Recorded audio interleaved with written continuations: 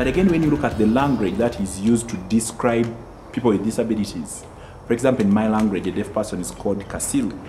And Kasiru is translated to mean someone who's stupid. Then, uh, in another language, uh, one of the languages back home, they define a person, for example, with a disability as a chifire.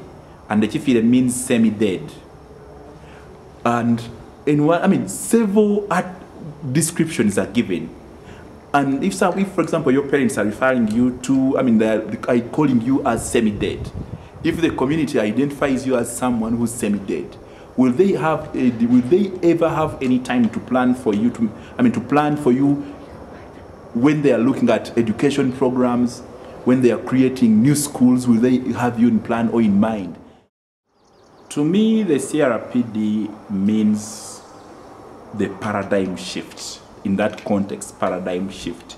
Meaning, in my country, it, it signifies a shift from, from uh, viewing a person with a disability as a patient to a holder of rights, but also as a, me- a member of the entire community, spectrum, I mean, entire community different African countries have had different approaches towards people with disabilities.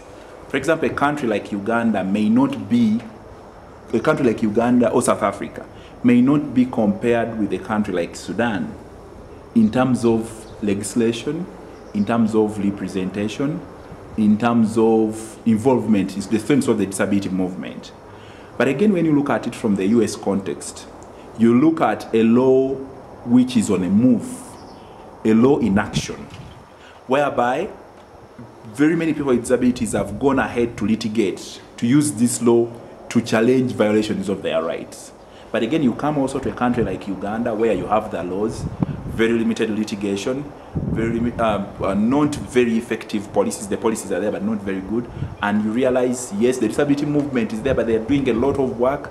And at one point, doing one thing, there are seven, ten organizations doing the same thing but differently because of lack of coherence and lack of clear definition. But again, you go to countries like um, which country can I of? Maybe Liberia. Yeah, there are some countries like Liberia, maybe I'm not so sure, but a few countries in West Africa where these laws almost do not exist. Some countries have not even ratified the CRPD, so it's very, very difficult for someone to draw a clear, like guide, benchmark between, let's say, the US context in terms of the ADA and activism with the GNO African context.